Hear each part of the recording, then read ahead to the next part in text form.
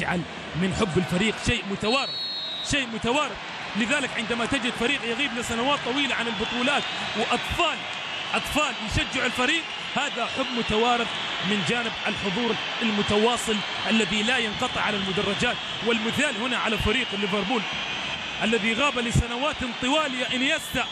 غاب لسنوات طوال هذا يقوم يقوم المدرجات معه إنيستا.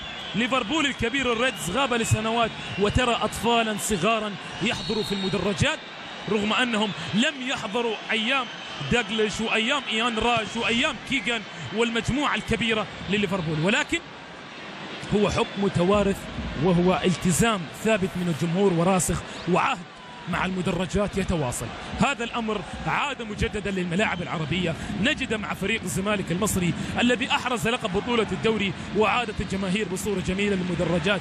نجد مع جماهير العالم النصر اللي تمتعنا في الملاعب السعودية هذه الأيام حتى في مواقع التواصل الاجتماعي. هيجان كبير جدا لعودة الفريق للمنصات والوفاء المتواصل للمدرجات. وهذه سمة الفرق الكبيرة التي نجدها أوروبيا عربيا محليا وقيمتها في الحضور. عموما حتى الآن يتواصل الأداء والسيطرة متواصلة في 67 دقيقة.